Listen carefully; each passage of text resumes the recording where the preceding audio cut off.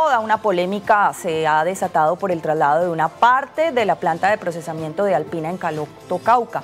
El despido de casi 60 trabajadores, según denunció el sindicato de la empresa, prendió las alarmas en el sector lechero que se encuentra a la expectativa.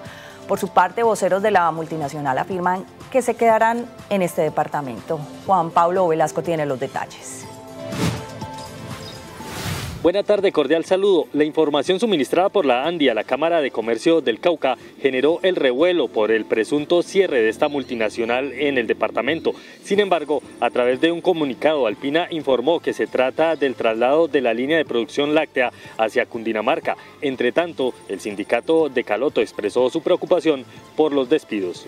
El día de hoy queremos contarles que la empresa Alpina Productos Alimenticios S.A.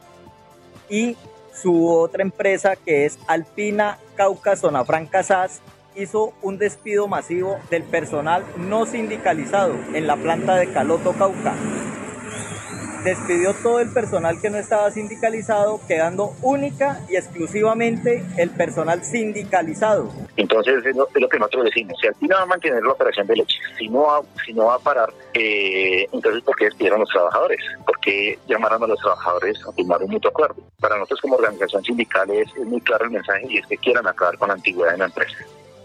Los movimientos internos de la empresa, al parecer generado por los continuos paros y bloqueos en la vía panamericana, tienen expectante al sector lechero.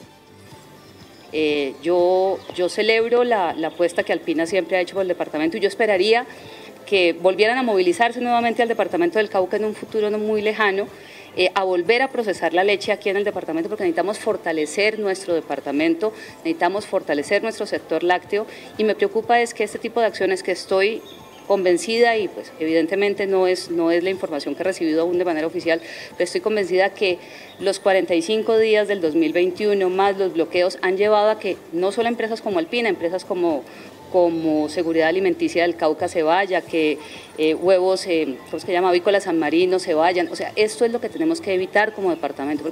Son más o menos 35 mil litros que son producidos por eh, muchas familias campesinas, indígenas y afro del departamento del Cauca, pequeños productores que en su gran mayoría tienen en promedio cinco animales. Según la multinacional, seguiría recibiendo el producto a los lecheros. Sin embargo, aún no aclara si la decisión del traslado de leche hacia Sopó, Cundinamarca, afectará el precio para los productores caucanos.